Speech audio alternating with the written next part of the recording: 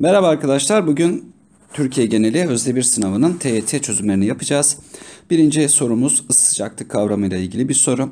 İki tane bardağımız var arkadaşlar. Bunların arasına bir pipet konuluyor. Daha sonra e, bir bardağa sıcak diğerine de soğuk su konularak termometrelerin değerleri ölçülüyor.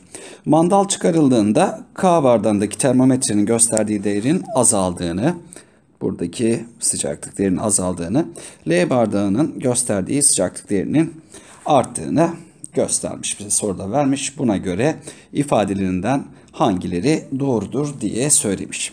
Yalıtılmış bir ortamda arkadaşlar sıcaklıkları farklı iki madde bir araya getirildiğinde yani ısı alışverişi yapması sağlandığında her zaman sıcak olan maddeden soğuk olan maddeye doğru bir ısı akışı olacaktır. Dolayısıyla bu olay ne zamana kadar devam edecekti? İki maddenin de sıcaklığı eşit oluncaya kadar ki biz buna denge sıcaklığı diyorduk. Bu durumda arkadaşlar başlangıçta sıcak su K bardağına, soğuk su L bardağına konulmuştur ifadesi doğrudur. İkinci yargıya bakacak olursak yeterince bekletildiklerinde K ve L bardaklarının ısıları eşittir. Evet arkadaşlar ısı kavramını kıyaslayamıyorduk, karşılaştıramıyorduk. Isı sıcaklık farkından dolayı alınan ya da verilen enerji olduğu için ikinci ifademiz yanlış. Yeterince bekletildiğinde K ve L bardaklarındaki suyun sıcaklıkları eşit olur. E, bu olay denge sıcaklığına ulaşıncaya kadar devam edecekti. Yani her iki kaptaki sıcaklık eşit oluncaya kadar devam ediyor. Bu haliyle cevabımız D şıkkı olacaktır. İkinci sorumuz optik konusundan arkadaşlar. Gölge olayıyla ilgili. Noktasal bir ışık kaynağı ile saydam saydam olmayan ifadesi olacaktır. Herhalde burada bir yanlış yazılma var. İki top perdenin üzerine önüne yerleştirildiğinde perdedeki gölge şekildeki gibi oluyor. Evet gördüğümüz gibi tam gölge tek bir ışık kaynağımız olacak arkadaşlar. Buna göre noktasal ışık kaynağı ile topların konumu aşağıdakilerden hangisi gibidir demiş. Evet noktasal bir ışık kaynağından arkadaşlar engelin alt ve üst ucuna ışınlar göndererek oluşabilecek gölge şeklini buluyorduk. A şıkkı için çözüm yapacak olursak şurayı birinci top için saydam olmayan top için çizecek olursak burası bizim için tam gölge şeklinde bir şekilde olacak. Daha sonra alttaki topa ışın göndereceğiz. Buraya gelen ışınlar arkadaşlar takıldığı için burayı şu şekilde çizebiliriz. Dolayısıyla yukarıdaki şekle benzeyen görselimiz A şıkkı olarak verilecektir. Üçüncü sorumuz ses ile ilgili. Aşağıda sesin iletimi ile ilgili bir deney düzeni görülmektedir. Özdeş çalar saatler aynı anda çalmaya başladığında Ali, Ahmet ve Burcu'nun sesi duyma sırasının ilkten sona doğru sıralanışı hangisidir olarak verilmiş arkadaşlar ve ortamların sıcaklıkları ve kalınlıkları aynı olarak verilmiş.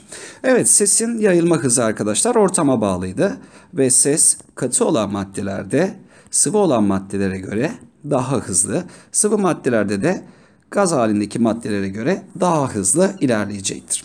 Dolayısıyla burada mesafelerimiz eşit olduğu için şunu söyleyebiliriz. Buradan çıkan ses dalgalarının Ali'ye ulaşma süresi demir ve su. Ahmet için geçecek olan süre hava ve su belirleyecek. Burcu için geçecek olan süreyi de demir ve hava belirleyecek arkadaşlar. Dolayısıyla ilk başta Ahmet için katı ve sıvı olduğu için e, ortamı bulunduğundan Ali zilin ilk önce çaldığını duyacaktır. Yani ilk önce Ali. Daha sonra Ahmet ve Burcu'yu kıyaslayacak olursak ikisinde de eşit miktarda hava var arkadaşlar. Dolayısıyla Burcu'nun duyabileceği sesi demir burada iletirken burada da ne yapmıştır Ahmet için? Su. Demirin arkadaşlar katı suyu zaten sıvı olduğunu biliyoruz. Dolayısıyla demirde yani katı olan maddede ses daha hızlı ilerleyeceği için Burcu en geçti arkadaşlar Ahmet duyacaktır. Buna göre şıkkımız arkadaşlar doğru şıkkımız B şıkkı olarak verilecek. Dördüncü sorumuz arkadaşlar. Yaptığı bilimsel araştırmalarda etik ilkelere uyan bir bilim insanı ifadesi için hangilerini yapması beklenmez? Evet biraz fizikte karşılaşmadığımız soru tiplerinden. Kendisinin yer almadığı bir çalışmada varmış gibi gösterme. Tabii ki bu davranış hatalı bir davranıştır. Bunu bekleyemeyeceğiz. Bilimsel çalışmalara katılan denekler için kabul edilebilir amaçlar ve uygun yöntemler seçmek etik bir davranıştır arkadaşlar.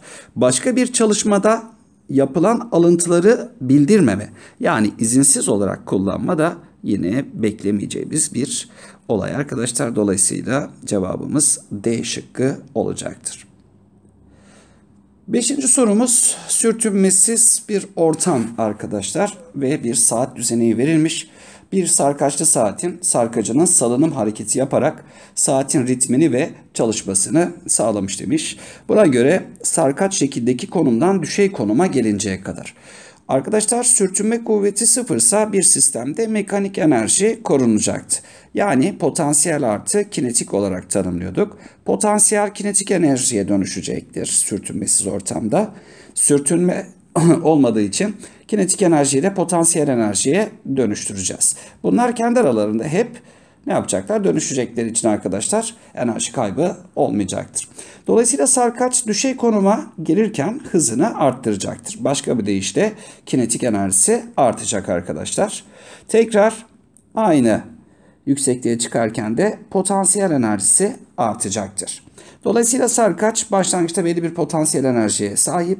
Düşeyde kinetik enerjimiz maksimum değerde sonra tekrar aynı potansiyeli alıyoruz. Yani basit harmonik hareket yapıyoruz. Evet, düşey konuma gelinceye kadar geçen süreçte sarkacın kinetik enerjisi, potansiyel enerjisi ve mekanik enerjisi nasıl değişir gibi bir ifade. Aşağıya doğru arkadaşlar sarkacı bıraktık. İlk hızsız olarak geliyoruz. Harmonik hareketlerini hatırlayacağımız gibi denge noktasında hız maksimumda. Dolayısıyla biz düşeye doğru yaklaştıkça kinetik enerjimiz artacak.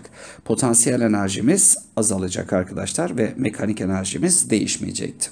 Evet buna uyan şıkkımız da arkadaşlar artar azalır değişmez şeklinde A şıkkı olarak verilecek. Altıncı sorumuz U boruları olarak isimlendirdiğimiz bir basınç sorusu arkadaşlar.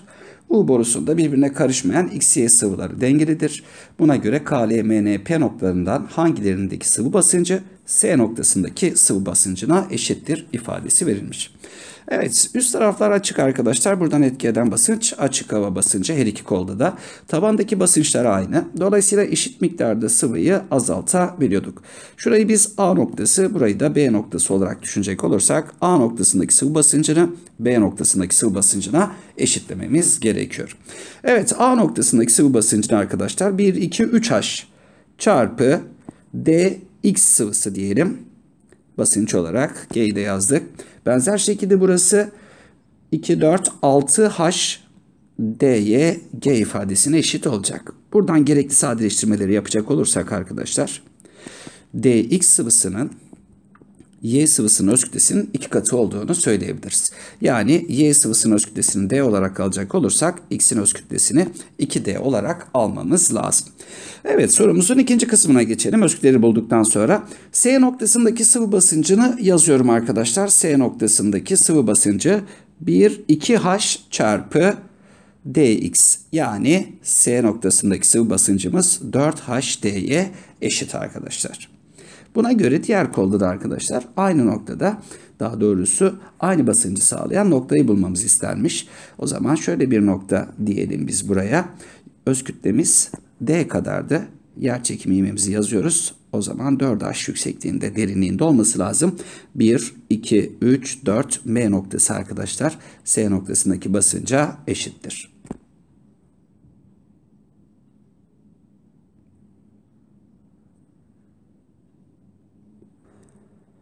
Evet, yedinci ve son sorumuz özdeş üreteç ve lambalarla kurulmuş şekildeki devrede arkadaşlar. S anahtarı açıkken K ve L, K ve L lambaları ışık veriyormuş.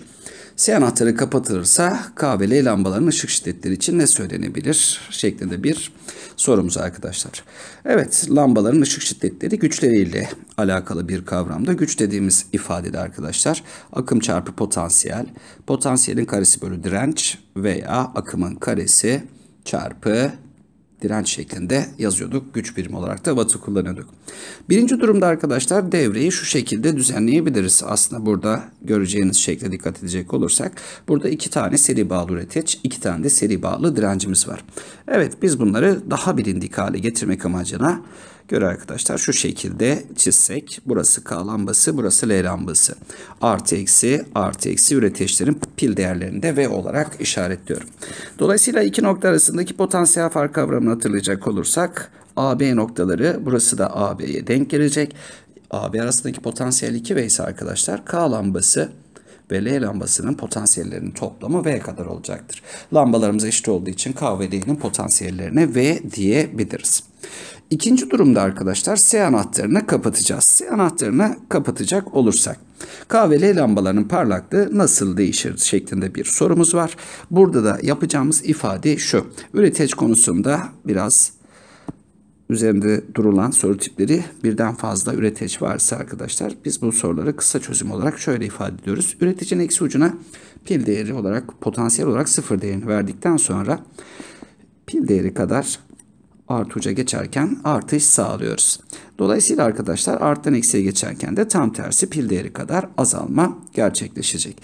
Dolayısıyla biz alttaki potansiyel üretici için şu noktayı sıfır olarak alırsak harflendirme yapar gibi arkadaşlar ifadeyi devre elemanları görünceye kadar devam ettiriyorum.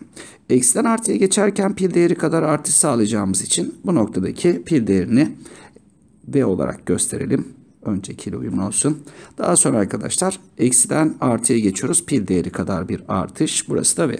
Evet şimdi K lambasının uçlar arasındaki potansiyel farka bakıyoruz ve L lambasının uçlar arasındaki potansiyel farka bakıyoruz ve o zaman K ve L'nin başlangıçta ve son durumda potansiyelleri eşit olduğu için lambaların ışık şiddetleri için ikisi de değişmez ifadesini kullanacağız.